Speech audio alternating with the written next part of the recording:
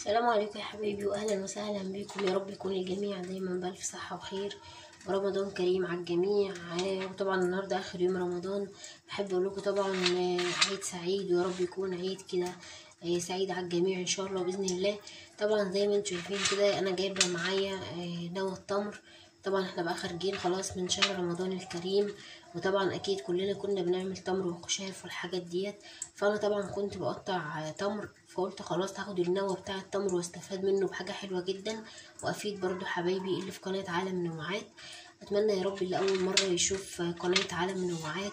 أتمنى كده إنه آه، يضغط على زر اللايك آه، لو عجبه الفيديو وكمان يشترك في القناة. ويكتب لنا كده تعليق حلو كده يقول إن هو فعلا آه، أعجب أو استفاد بالوصفة اللي إحنا هنعملها النهارده. آه، أو يعني الحاجة الجميلة جدا اللي معظم الناس اللي فينا بيحبوها وبيحبوا يشربوها دايما. هو طبعا مشروب هنعمله آه، عن طريق آه، عن طريق اللي هو نوى التمر دوت. نوى التمر ده جميل جدا وسبحان الله ربنا خلق لنا آه، يعني عمل نزل لنا كل حاجة آه، ليها فايدة. يعني ربنا ادالنا ف- في الحياة ديت عموما كل حاجة ولها فايدة كل حاجة لازم نستفاد منها. فطبعا أنا قلت ليه التمر من ليه نوى التمر ما استفادش منه؟ وزي ما أنتم شايفين كده هو محروق شوية. آه، طبعا محروق هقول لكم ليه. آه، هو مش محروق هو متحمص أهو. آه، متحمص والله عن طريق الشمس يعني. هو عامل كده باللون ده عن طريق الشمس أهو لأن أنا كنت حاطاه في الشمس لمدة يوم كامل. آه تعالوا بقول لكم هنعمل إيه وح... إيه المكون اللي هيعمله لنا نوى التمر ده؟ هو مكون كلنا بنحبه وهو البن. آه هيعمل لنا بن مطحون يعني بدل ما اشتري البن من بره آه بن دلوقتي بقى غالي جدا بدل ما اشتريه من بره آه بتمن غالي. دلوقتي أنا هشتريه كيس البن دلوقتي غالي جدا على فكرة. دلوقتي أنا هعمله في البيت كده عادي جاهز يعني في البيت. آه وكله هيبقى قدامكم.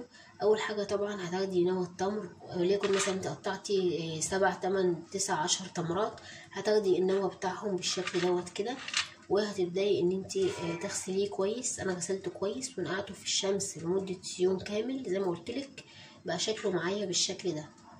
طيب بعد كده هنعمل إيه؟ بعد كده طبعا هتاخدي اللي أنا هاخد آه، الحل ال- الصينية دي زي ما هي كده وأحطها في الفرن لأني عايزة طبعا النوى دوت يتحمص ويبقى معايا كأنه متحمص كده. ماشي؟ لو انت عايزة تحطيه على النار من فوق مش عايزة تحطيه في الفرن مفيش مشكلة بس تهدي النار خالص عشان أنا مش عايزاه محروق أنا عايزاه بس يتحمص مش أكتر من كده. ماشي؟ يعني دي أول خطوة هنعملها. يبقى أول حاجة أنا أخدت التمر نوى التمر غسلته كويس وبعد كده رحت نقعته في الشمس لمدة يوم كامل وجبته النهارده أهوت.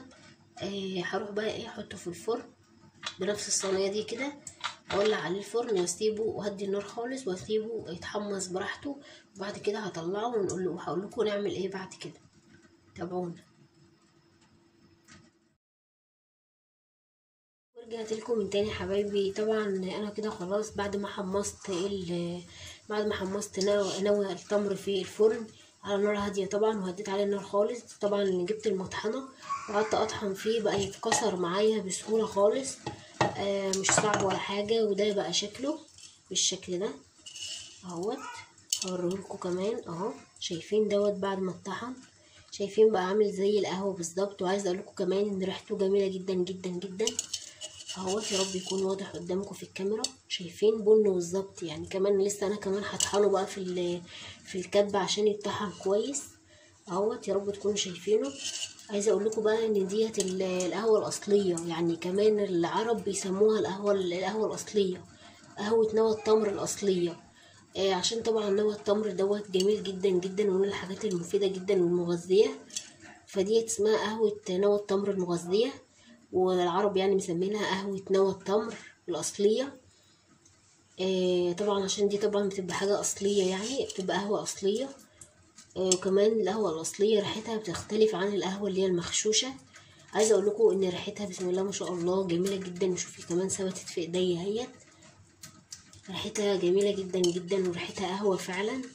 أنا طبعا بقى بعد ما ضربتها كويس في المطح في في الكبة في بعد ما ضربتها كويس في إيد الهون دوت في الهون ده ضربتها قعدت أضربها كده كويس لحد ما اتطحنت معايا بس لسه ما اتطحنتش قوي فيها حبيبات كده آه، فأنا هاخدها دلوقتي في الكبة وعايزه احذرك من حاجة اوعي وهي لسه ما اتضربتش كويس في في بتاع إيد الهون اللي معايا ديت أو الهون يعني ده اوعي تحطيها كده على طول في الكبة مباشرة أحسن الكبة بتاعتك تتكسر أو يحصل لها أي حاجة. ماشي؟ فلازم طبعا تضربي لازم طبعا تدوقيها الأول كويس لحد ما توصليها بالشكل دوت كده معاكي. أهو. ماشي؟ شايفين؟ أهوت. وبعد كده تقدري إن أنت تضربيها أو تطحنيها في المطحنة عادي مفيش مشكلة. ماشي أنا طبعا هطحنها بقى في المطحنة وهنشرب دلوقتي أحلى فنجان قهوة مع بعض من نوى التمر. إزيكم حبايبي؟ ورجعت لكم من تاني واهلا وسهلا بيكم. طبعا أنا طحنت كده عايزه أقول لك بقى إن دوت البن الأصلي فعلا مش بن أي كلام ده البن الأصلي. بقى معايا بالشكل ده بعد ما طحنته شايفين؟ وعايزه أقول لك بقى إن الريحة جميلة جدا جدا جدا. الريحة فوق ما تتخيلي. يعني بن أصلي هتشربي بن فعلا مظبوط بن أصلي فعلا. آه هو هو بقى كده معايا اهوت بعد ما اتطحن في المطحنة. بس طبعا زي ما قلت لك الأول هتدوقيه الأول كويس آه، بايد الهون. عشان لو حطيتيه كده زي ما هو كده في المطحنة آه، في الكبة بتاعتك ممكن الكبة لا قدر الله تتكسر أو تحصل لها أي حاجة أو تتحرق يعني. آه فانتي الأول الأول تكسريه كويس الأول بإيد الهون وبعد كده لما يبقى معاكي حبيبات كده دايبة تبدأي ان انت تحطيه في الكبه عادي وتضربيه عادي. ماشي حبايبي؟ شايفين؟ زي البن بالظبط. ماشي؟ تعالوا بقى نعمل أحلى فنجان قهوة مع بعض. أنا جايبة الفنجان بتاعي أهوت. جايبة الكنكة بالشكل ده أهوت. يا رب بس تكون باينه قدامكم. وكمان هعمل إيه بقى؟ آه هعاير الأول آه، مقدار الفنجان القهوة ده هحط فيه شوية مية كده على على القد يعني على حسب ما انت عايزة. وليكن مثلا أنا عايزة قد الحبة دولت أهو. يعني نص الفنجان هحط كده في الكنكة بتاعتي قد نص الفنجان بالشكل ده. ماشي؟ وبعد كده هبدأ إن أنا أحط ال- القهوة اللي أنا أو البن اللي أنا لسه عاملاه ده أحلى بن بصراحة. وده العرب بيسموه البن ال- الأصلي يعني أهوت. وعايزة أقول لك إن ريحته جميلة جدا جدا. بن عملت بن في البيت من ما فيش يعني بصراحة. بنوى التمر أهو. أهو يا رب تكونوا يكون واضح قدامكم أهوت. هحط معلقة بن بالشكل ده أهوت. معلقة بن.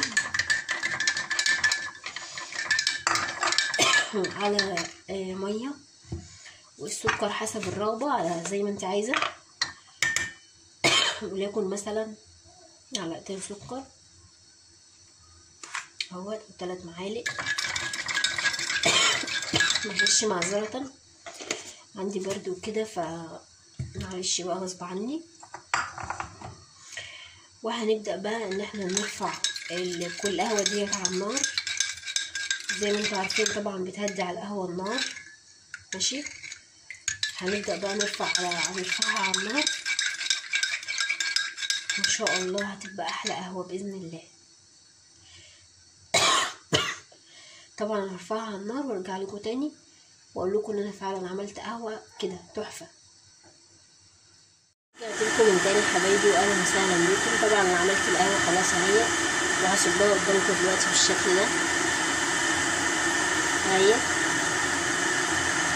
بجد فعلا آه، هيبقى أحلى فنجان قهوة ممكن تعمليه. آه، طبعا آه، هيبقى جميل جدا شايفين الوش بتاعه. آه، بجد أحلى فنجان قهوة أنا بصراحة عملته. فنجان قهوة جميل جدا. أتمنى يا رب يكون الفيديو النهارده عجبكم واستفدتوا منه.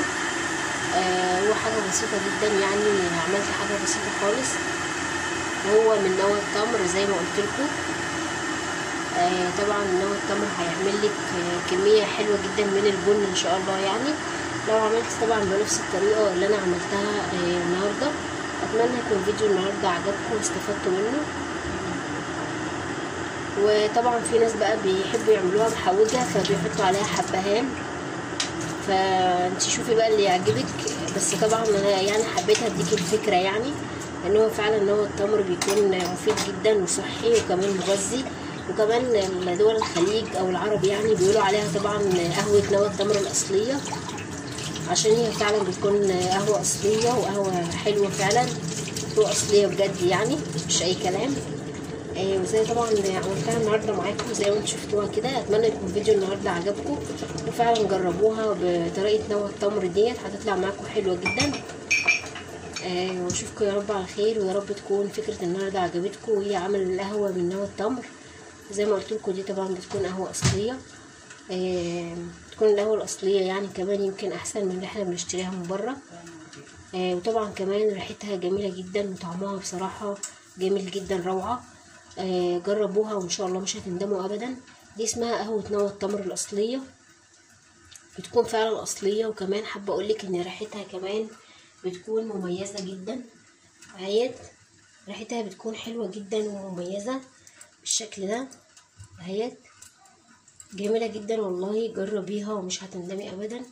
وأنا ما عملتش حاجة أو اشتريت حاجة من بره. كلها يعني مكونات من البيت. آه ما اضطريتش إن أنا أشتري قهوة من بره. آه جربي بقى قهوة نوى التمر ديت. وكمان حابة أقولك إن نوى التمر كمان ممكن تستفادي منه في تطويل الرموش. بإن انت تجيبي حبة أو معلقة من القهوة ديت اللي أنا عملتها بنوى التمر تجيبي منها معلقة تحطي عليها زيت خروع وتقلبيهم مع بعض وتحطي بقى على الرموش. حابة أقولك بقى إن بصراحة هتطولك وتكثفلك الرموش. آه وأنا كمان بستخدمها بصراحة في تتقيل برضو الحواجب. آه بتقل وتكثف الحواجب وكمان الرموش لأن كمان أصلا ديت حاجة طبيعية. آه أنا عاملاها قدامكم من حاجة طبيعية اللي هو نوى التمر. عملتها قدامكم من نوى التمر. أتمنى يكون فيديو النهارده عجبكم واستفدتوا منه. ماشي يا حبايبي. وزي ما قلت لك لو حابة تعملي القهوة محوجة مفيش أي مشكلة ممكن تحطي عليها زي ما قلت لك قبل كده. ممكن تحطي عليها حبهان.